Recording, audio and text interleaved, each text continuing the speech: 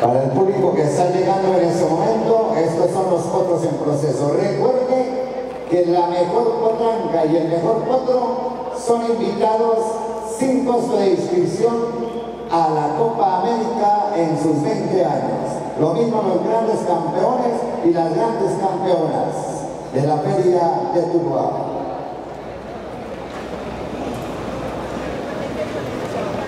Los